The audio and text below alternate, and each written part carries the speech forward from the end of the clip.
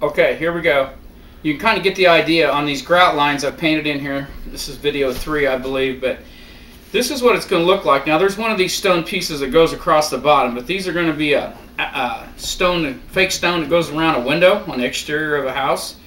I'm going to have a keystone here. You notice I did cut the plywood this shape, you know, to kind of help a little bit. The plywood, uh, the sides are not quite as wide as the top. That's done intentionally. You can look at all the different lines here. Maybe we'll take a view of all the lines all the way around, up and down so you can kind of see how it's not uniform. I use uh, black paint for the grout. I know most grout's gray, but this will help sell it as stone better in my opinion. And the next video we'll actually start painting this uh, this top arch piece. Okay, this is how basically it's going to look, and plus there's one that goes across the bottom around the window too. I'll have some videos or some photographs of it completely done installed on the window too. All right, thank you.